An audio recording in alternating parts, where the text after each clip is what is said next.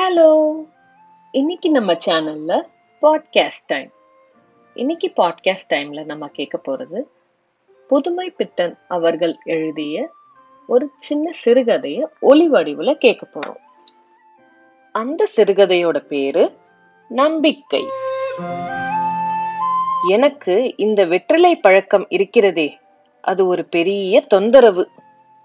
வாய் நிறைய ஒரு ரூபாய் எடை புகையிலையை வாயில் அடைத்தால் தாகம் எடுக்காமல் என்ன செய்யும்?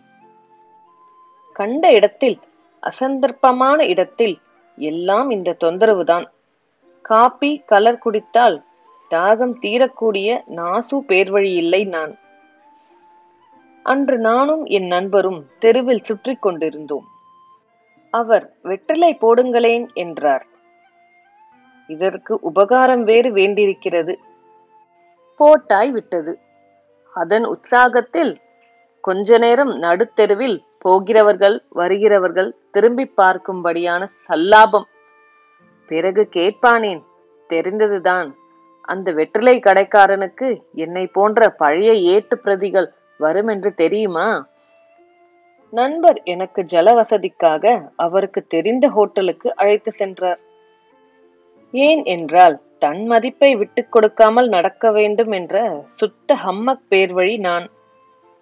அந்த ஜோரில் தண்ணீர் பிரச்சனை ஒருவாறு முடிந்தது. எனது நண்பர் ஒரு அபூர்வ பேர்வழி அவர் மேல் எப்பொழுதும் பொறாமை அதிகம். சமூகத்தின் எந்த படிக்கட்டில் இருப்பவனும் அவரிடம் வெகு லேசாக தனது உள்ளத்தை திறந்து விடுவான்.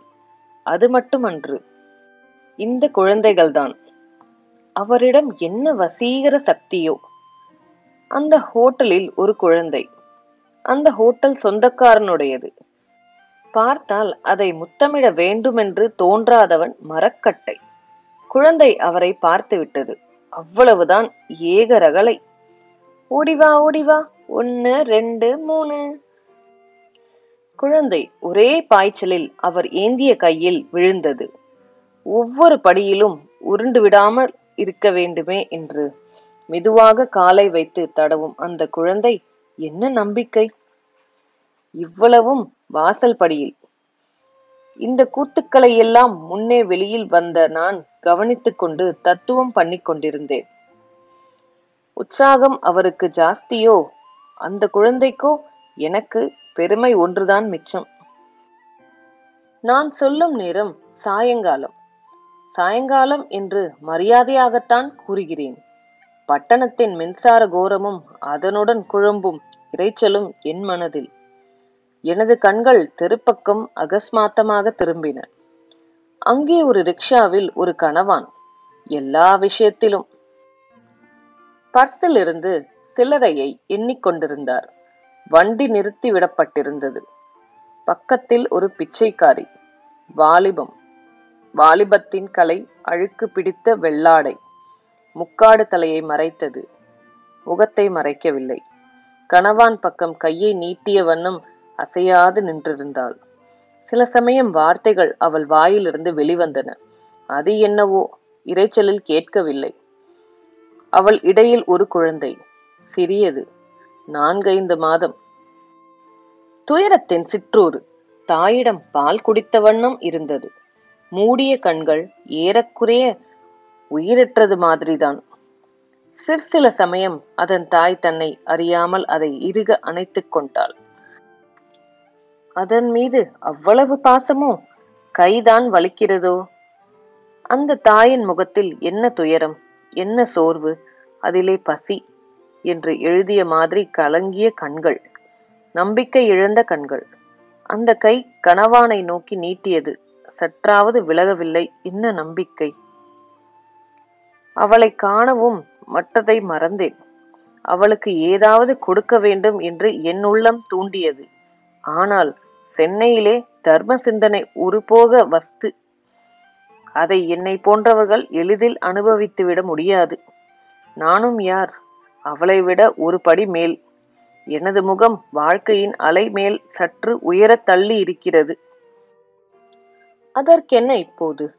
அந்த ரகளை இவளை ஹோட்டல் பக்கம் திரும்ப செய்தது. திரும்பியவள் அப்படியே மெய்மறந்து நின்றவள் போல் தெய்வத்தை லட்சியத்தை கண்ணெதிரில் கண்டவள் போல் அவற்றை கண்களில் ஒரு பிரமிப்பு.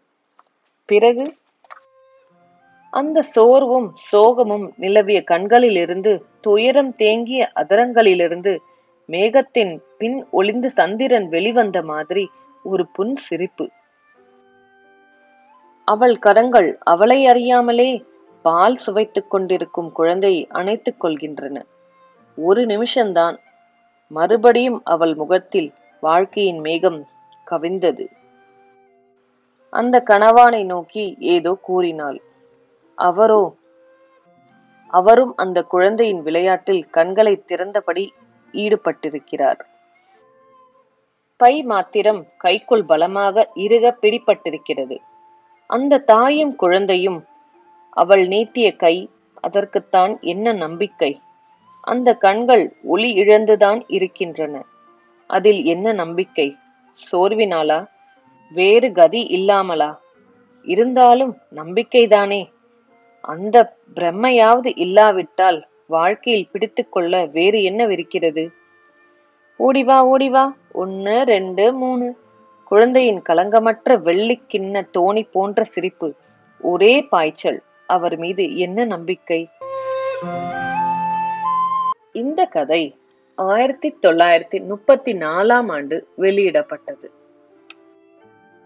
இதே மாதிரி இன்னொரு கதைய நம்ம சேனல்ல இருக்கிற போட்காஸ்ட் டைம்ல கேட்கலாம். நன்றி.